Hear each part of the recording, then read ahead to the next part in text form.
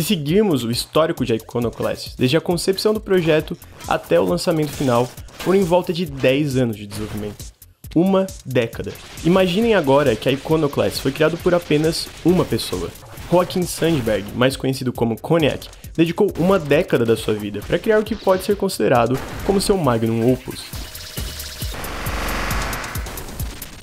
10 anos, infelizmente, não quer dizer necessariamente que o jogo vai ter qualidade, mas no caso de Iconoclast, o tempo foi bem investido. Ele não é inovador. Por natureza, Iconoclast é simples. Um Metroidvania com mundo interconectado onde você controla uma mecânica chamada Robin. Mas quando você junta todos os elementos presentes aqui, desde seu aspecto audiovisual de cair o queixo até uma trama surpreendente que lida com temas complexos, Iconoclast se mostra como uma pérola dentro de um gênero muito saturado.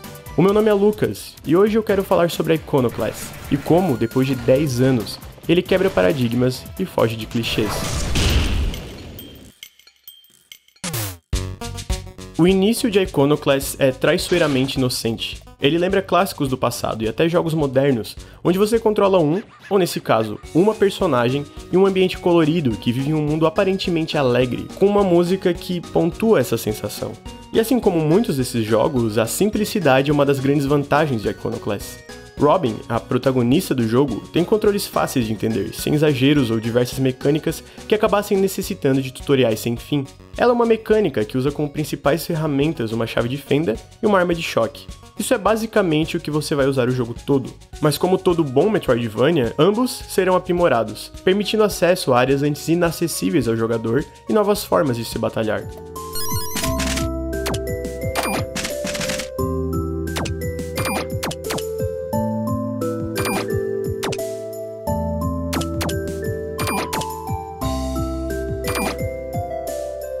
Mas a Iconoclast é muito mais linear se comparado a diversos jogos do estilo, especialmente alguns recentes como Hollow Knight. Em muitos momentos, o jogo lembra mais um side-scroller de ação do que um Metroidvania. Existe sim um mundo interconectado, com áreas limitadas de acordo com as melhorias que você adquire, mas tudo sempre está atrelado à narrativa. O único tipo de melhoria que você ganha a se explorar, fora as que vêm naturalmente com o progresso do jogo, são minérios que permitem que você crie tweaks. Eles são modificadores que dão um pouco mais de velocidade ao Robin ou permitem que você absorva um ataque sem tomar dano, por exemplo. Claramente, não são um grande incentivo de exploração.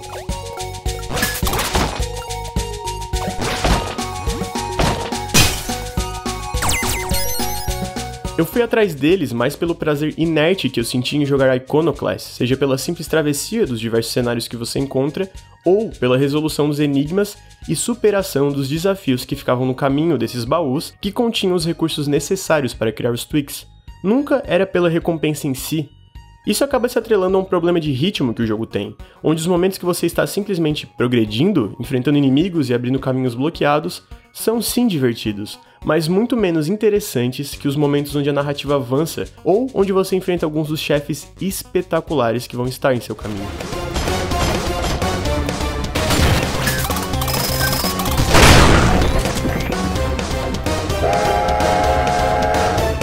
É aquele sentimento que alguns dos melhores jogos 2D de ação oferecem ao jogador. Uma montanha russa de emoções, com momentos mais calmos de exploração e resolução de puzzles, até momentos de extrema adrenalina, com combates frenéticos e situações intensas. Talvez os momentos mais calmos não sejam dos melhores, com áreas que se estendem demais no que se propõe, mas os momentos de adrenalina definitivamente estão entre os mais memoráveis do estilo uma fuga em um trem em movimento que culmina em uma luta contra um helicóptero, com um uso inteligente de terceiros e da arena em si durante a batalha. Uma exploração tranquila que acaba botando Robin no caminho de um tipo de furadeira que se assemelha a uma minhoca gigante, e um tipo de arena circular com várias etapas que moldam o chefe e sua estratégia. E apesar de óbvio pelo que está passando na tela, o jogo conta com uma pixel art extremamente detalhada e animações caprichadíssimas que ajudam a tornar os chefes mais ameaçadores e também telegrafam de forma clara os ataques e movimentos que eles vão realizar, tornando as lutas difíceis, porém equilibradas. Sério, alguns momentos são impressionantes, é só ver isso.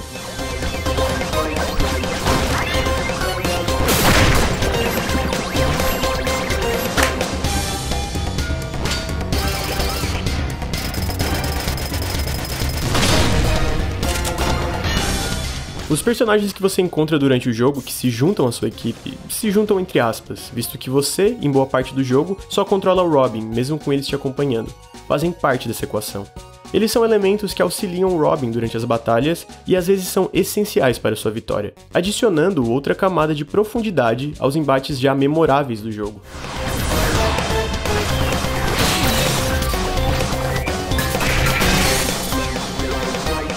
Esses mesmos personagens fazem parte do elemento que mais me agradou e que eu considero a estrela de Iconoclast, sua história.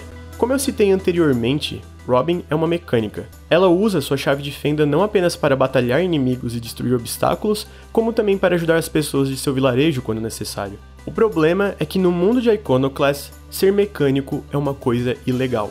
Boa parte do planeta é regida por uma teocracia chamada One Concern, uma religião que é comandada por dois seres conhecidos como Mãe e Ele. Mecânicos lidam com um combustível considerado sagrado chamado Ivory, e apenas os escolhidos pelo One Concern podem manusear o Ivory e os equipamentos que fazem uso dele.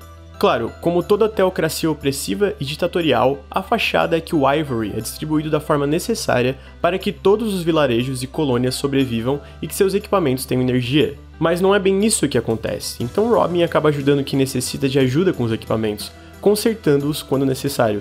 Quem faz isso, porém, é punido com penitência, que nada mais é que uma sentença de morte, onde os habitantes ficam presos dentro de sua própria casa, aguardando seu carrasco.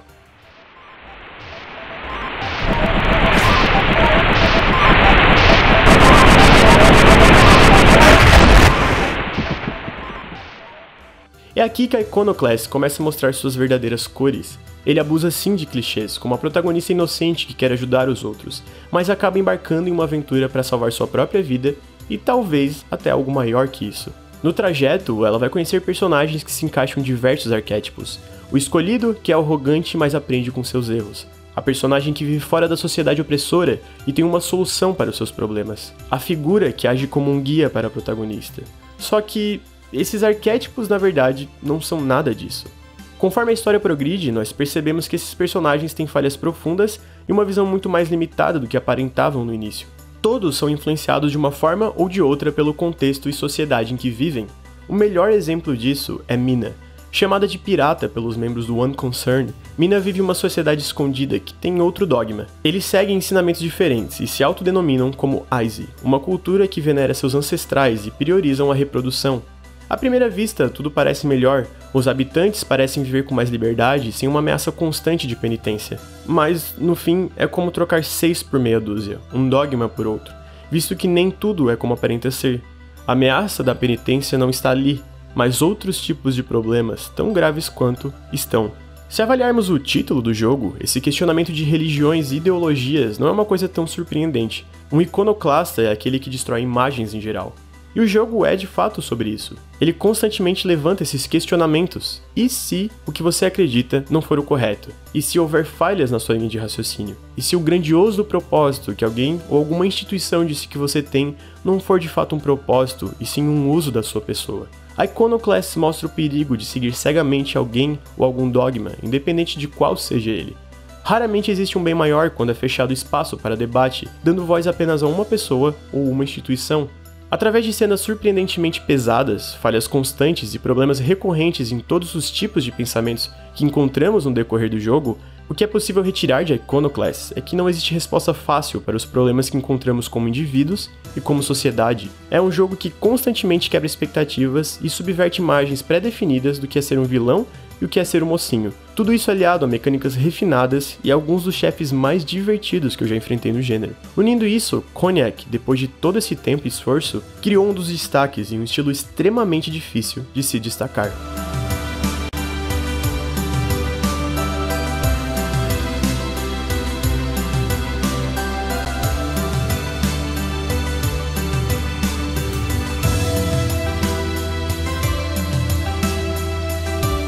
Oi gente, o meu nome é Lucas e eu queria agradecer todo mundo que assistiu o vídeo e especialmente esse pessoal que está passando na tela, que faz com que o Nautilus possa continuar existindo. Se vocês têm interesse em ajudar o canal, dê uma olhadinha no nosso Apoia-se, que qualquer ajuda faz toda a diferença. Valeu e até o próximo vídeo.